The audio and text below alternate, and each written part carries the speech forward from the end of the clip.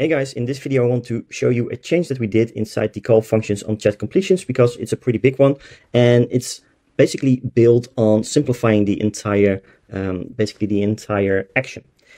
We have built a separate action called function generator, which allows you to dynamically generate any kind of function that you like to with any number of parameters that you need to capture. So previously in the call, uh, call function on chat completions actions, we supported up till five different kinds of parameters. But in case you need more, we change that. We remove that, uh, basically that generation of function inside this chat completion, and we move that towards the function generator. So how does this work? If we take a look inside, you will be able to give your function a name, right? Make sure there are no spaces in between. So you can set it, for example, like this, appointment details, or connect it with an underscore. That's totally up to you. But the function name needs to be, uh, basically needs to be one word without any spaces in between. Then you have the function description. And here we have the function parameters. These parameters can be inserted by comma separation. So whether you just need to capture one specific parameter or maybe 10, 15, maybe 25, does not really matter as long as you output it in this format. So you have parameter, uh, you have parameter one, then a comma, parameter two, and then a comma, and so on and so on. Now, for the parameter descriptions, it's also crucial to have the exact same format, and you need to have the exact same number of descriptions as you have parameters, because we need both of them to generate a successful function, right? So if you miss one of them, you will get a, you basically get an error returned that the number of parameters does not match with the number of descriptions. So check your input again. In this case, we have parameter one, which is name, per, uh, description one, which is name of the user, email, email of the user, date, and then we have date of the appointment, and then time, time of the appointment. Going to save this towards a JSON field, and then from this JSON field, we're going towards the chat completion here. And inside this chat completion, as you can see, this drop down with all those parameter names, descriptions, types, and stuff like that have been replaced to just this input, functions JSON.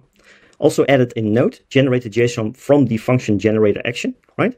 to be able to have this inside. So just insert your saved JSON field, and then you can set up your system message like normal. You have your prompt. In this case, I, I'm using a question field type input because I set that on my question node as such. And then you have the regular output. So the AI response will be will be going towards this custom field. We have the history, which will go towards this JSON field. We have the status, which is important to check whether or not we captured all the parameters. And then if we did so, then this function complete JSON will be filled with all the parameter details. Now, if we're going to test this out, so let's preview this, right? Already did so a few times just to make sure everything is working correctly. Well, let's do it again. So let's say, uh, hey, my name is Mark and I would like to book an appointment. One parameter has already been captured, which is name, and now it should state what is the email address. So let's say, sure, it's mark at markvandermade.com. Now it should ask for the date. So let's see. Okay, may I have the date you would like to set for the appointment?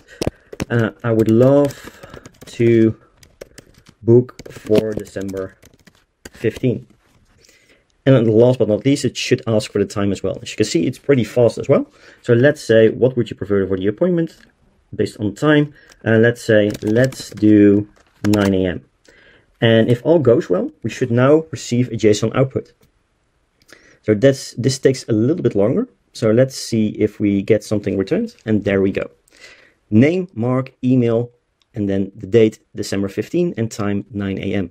So this simplifies the entire process of creating a function and also solves the issue that if you need more than five parameters, which we only supported up till recently, right?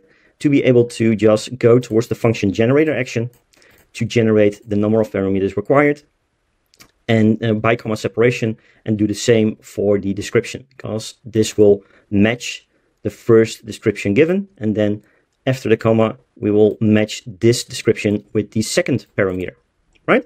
So I hope this new update helps you in generating more advanced kinds of functions. And if you have any questions, do let me know.